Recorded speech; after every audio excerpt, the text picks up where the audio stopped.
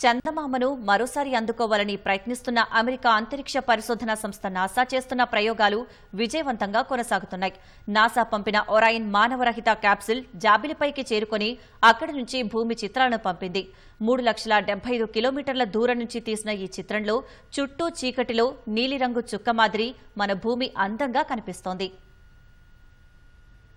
జాబిలిపైకి మరోసారి వ్యోమగాములను పంపేందుకు అమెరికా అంతరిక్ష పరిశోధన సంస్థ నాసా పరీక్షిస్తున్న ఆర్టెమిస్ వన్ యాత్ర విజయవంతంగా కొనసాగుతోంది. ఒరాయిన్ క్యాప్సిల్ చంద్రుడి ఉపరితలంపై ఎనభై ఒక్క మైళ్ళ ఎత్తులోకి వెళ్ళి పెద్ద కక్షలోకి ప్రవేశిస్తుంది. క్యాప్సుల్ గంటకు ఐదు వేల నూట రెండు మైళ్ళ వేగంతో దూసుకెళ్తోంది. ఈ క్రమంలో పంతొమ్మిది వందల అరవైలో జాబిలిపై నీల్ ఆమ్స్ట్రాంగ్ బజ్ ఆల్డ్రిన్ అడుగుపెట్టిన చోటు పైభాగానికి క్యాప్సిల్ చేరుకుందని నాసా వెల్లడించింది. అక్కడి నుంచి తీసిన చిత్రాలను ఒరాయిన్ క్యాప్సిల్ పంపింది.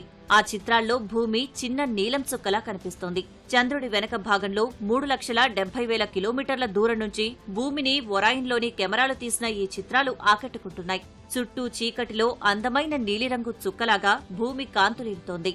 ఈ చిత్రాలను NASA mission director Zebulon Scoville విడుదల చేశారు.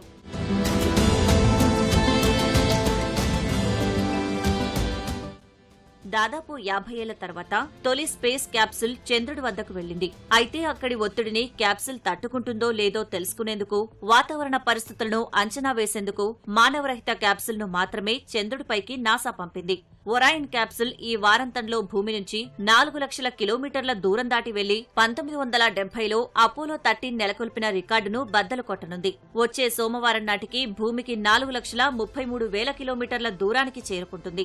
తర్వాత వారం రోజులు చంద్రుడి కక్షలోనే ఒరాయిన్ తిరుగుతుంది. తర్వాత భూమికి పయనమవుతుంది.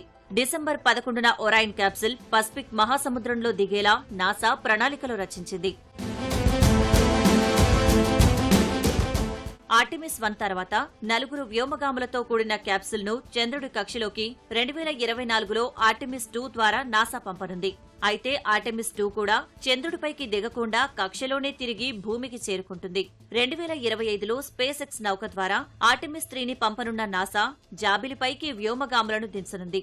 ఈలోపు ఆర్టెమిస్ వన్ టూ ద్వారా చేసిన ప్రయోగాల డేటాను పూర్తి స్థాయిలో విశ్లేషించనుంది.